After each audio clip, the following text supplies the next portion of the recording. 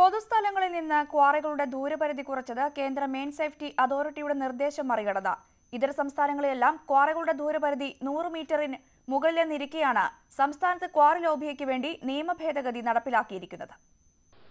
രണ്ടായിരത്തൊമ്പതിലെ കേന്ദ്ര ഖനി സുരക്ഷാ അതോറിറ്റിയുടെ നിയമം ലംഘിച്ചാണ് സംസ്ഥാനത്ത് പൊതുസ്ഥലങ്ങളിൽ നിന്ന് ക്വാറിയിലേക്കുള്ള ദൂരപരിധി കുറച്ചത്. ഖനി സുരക്ഷാ അതോറിറ്റിയുടെ ഉത്തരവ് മറികടന്ന് ദൂരപരിധി അമ്പത് മീറ്ററായി കുറയ്ക്കുകയായിരുന്നു.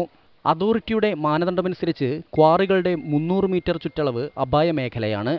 കേന്ദ്ര നിയമത്തിൽ മുന്നൂറ് മീറ്ററും മറ്റ് സംസ്ഥാനങ്ങളുടെ നിയ- നിയമങ്ങളിൽ മുന്നൂറും ഇരുന്നൂറും മീറ്ററുകൾ ഉള്ളപ്പോഴാണ് കേരളത്തിൽ നൂറ് മീറ്റർ ഉണ്ടായിരുന്നത്. ഈ നൂറ് മീറ്റർ പോരാ ഇത് വർദ്ധിപ്പിക്കണം മുന്നൂറ് മീറ്റർ ആക്കണം എന്നത് സംബന്ധിച്ച് കേസുകൾ പോലും കോടതിയിൽ നിലവിലുണ്ട്.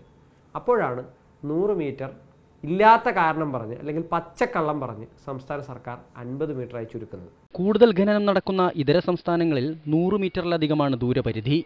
തമിഴ്നാട്ടിൽ ആയിരത്തി തൊള്ളായിരത്തി അമ്പത്തേഴിലെ ഖനന നിയമമനുസരിച്ച് മുന്നൂറ് മീറ്ററാണ് പരിധി. സ്ഫോടനം നടത്താത്ത ക്വാറികളിൽ നിന്ന് മാത്രമാണ് തമിഴ്നാട്ടിൽ അമ്പത് മീറ്റർ ദൂരപരിധി.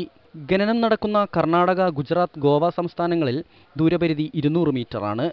ചരിത്ര സ്മാരകങ്ങളുണ്ടെങ്കിൽ മുന്നൂറ് മീറ്ററും. കേരളത്തിലെ ക്വാറികളുടെ ചുറ്റളവ് സംബന്ധിച്ചുള്ള മാനദണ്ഡത്തിൽ മാറ്റം വന്നപ്പോൾ വയനാട്ടിലെ ചരിത്ര പൈതൃകമായ എടക്കൽ ഗുഹയ്ക്കും ഫാൻഡം റോക്കിനൊന്നും ദൂരപരിധി നിശ്ചയിച്ചതുമില്ല. ചരിത്ര സ്മാരകങ്ങൾക്ക് പോലും പ്രത്യേക പരിഗണനയില്ലെന്ന് ചുരുക്കം. അമ്പലവയൽ മുക്കം പത്തനംതിട്ട ഭാഗങ്ങളിലാണ് കൂടുതൽ ക്വാറികളുടെ പ്രവർത്തനം. ഇതര സംസ്ഥാനങ്ങളെ അപേക്ഷിച്ച് കേരളത്തിൽ ജനസാന്ദ്രത മൂന്നിരട്ടിയോളം വരും. News eighteen Thiruvananthapuram.